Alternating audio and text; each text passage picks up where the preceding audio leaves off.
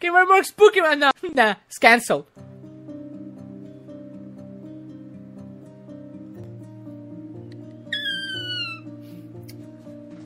Everyone's fucking crying. Nah! It was Friday Night Funkin's fault. I knew it. I knew it. I knew it was Friday Funkin'. Everyone's fucking crying. My childhood. I'm a 26 year old, my childhood.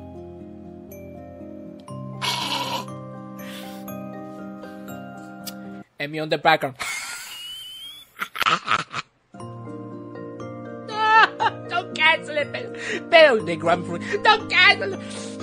Don't, don't cancel it, please, please, don't cancel it. I suck your dick. Then I'm like, Jesus Christ, come down. I just, of course, I'm not gonna cancel it. I just, I, I, no, because you're, you're fucking annoying. Stop it.